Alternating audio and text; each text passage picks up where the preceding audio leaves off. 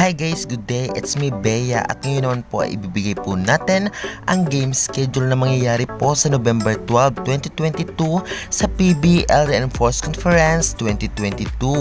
Kaya bago po ang lahat, huwag niyo naman pong kalimutan mag-like, comment, and subscribe and pahit ang notification bell para lagi po kayong updated sa aking mga bagong gawang video.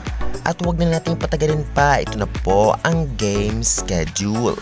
November 12, Saturday, first game, 2.30pm, Kremlin Cool Smashers versus United Auctioneers Army.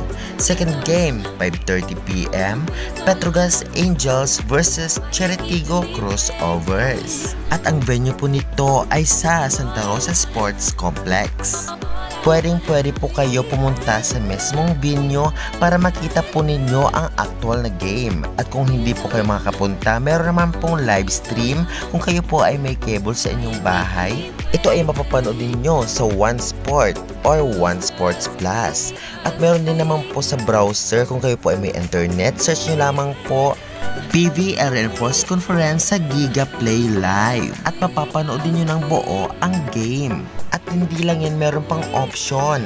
Download lamang po kayo ng Como application and go search to PVL Reinforced Conference 2022 at pumunta lamang po kayo sa PVL Live.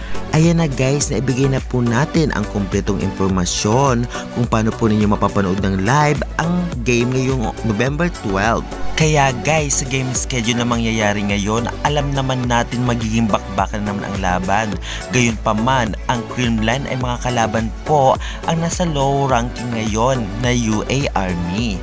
Alam naman natin nakakatapos lamang ng laban nila versus F2 Logistics Cargo Movers at natalo po sila sa loob ng 5-setter match kaya sabik na sabik itong bumawi ngayon. Siyempre, bilog ang bola at alam naman natin na babawi ang UA Army dahil wala pa itong panalo kaya tignan na lang po natin ang kanilang result. Second game naman ay bakbakan ng Cherry Tigo sa number 2 spots at number 3 na Petrogas Angels na alam naman natin na defending champion. Magiging maganda nga ang laban ngayong November 12. Kaya guys, don't forget to like, comment, and subscribe for more updates about sa volleyball dito sa Pilipinas. Maraming salamat. Babush!